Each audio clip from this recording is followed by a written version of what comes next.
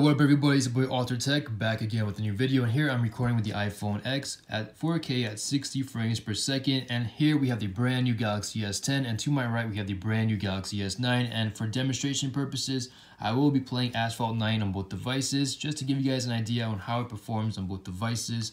So just to make things fair, so we have the resolution set at the top setting for both devices, 1440 on both devices and just to double check, we don't have any apps in the background running. So if we do, just go ahead and close that real quick. Close, close. And I'm sorry about the gloves. I gotta go ahead and order some more gloves.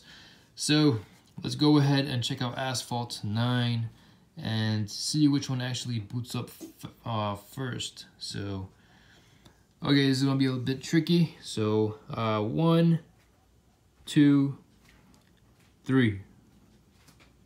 Nice. That was a good, that was a good tap. Oh, okay, as you can see, the S10 boots up faster than the S9, just by maybe one or two seconds. So let's just go ahead and play.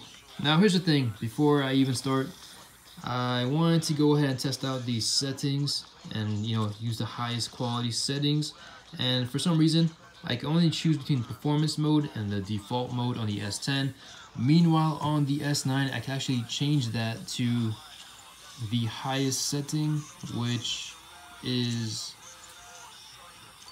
high quality. So I'm not going to use high quality because I want this to be a fair fight. So just go back home. Alright, so I'm just going to, you know, tap this at the same time.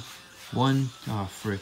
Sorry guys. Oh, actually, the race hasn't started yet, so Next, choose my car. Okay, this is the moment of truth. I'm gonna try and tap this at the same time.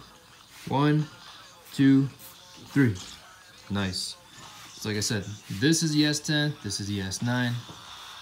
And as you would expect, the S10 is actually doing a better job at loading the game faster than the S9. Just by a couple seconds.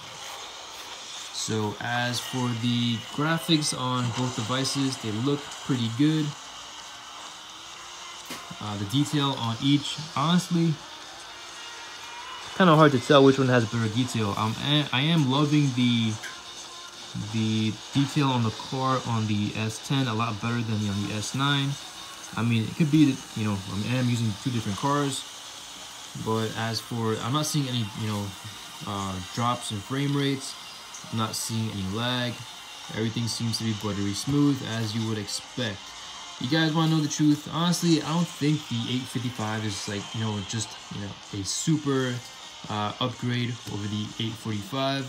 I really think that, you know, it, the most important thing is, you know, how well the manufacturer actually optimizes the chipset with the UI.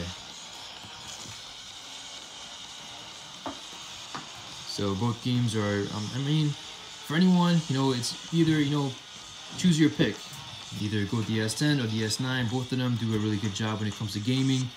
Uh, this phone, it doesn't really, it still feels cool to the touch. But I would have liked to actually test this game out with the highest settings on. So maybe you guys and girls might know, like, you know, how, there's a reason for this, for that setting to be blocked out.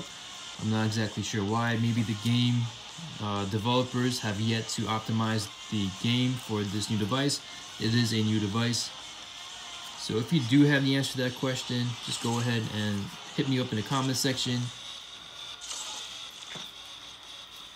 Um, as you can see, the punch hole over here, it is over there. It is a little prominent. So you're definitely to notice that a little bit. But, you know, when it comes to the H, the HUD display, heads-up display, uh, doesn't really interfere while you're racing. So I do believe manufacturers or game developers are gonna you know keep that little punch hole in mind, and they're trying to they might you know try to uh, not let that little punch hole be a factor when it comes to gaming. So that's my little demonstration of Asphalt 9 on the S9 and the S10. Let me know what you guys think down in the description. Uh, looks pretty good. I do prefer the bigger screen on the S10 and you know it, is, it does perform better as what you would expect with a new Snapdragon processor. So this is Altered Tech. Signing out. Hope you guys have a great and wonderful Saturday night. Peace.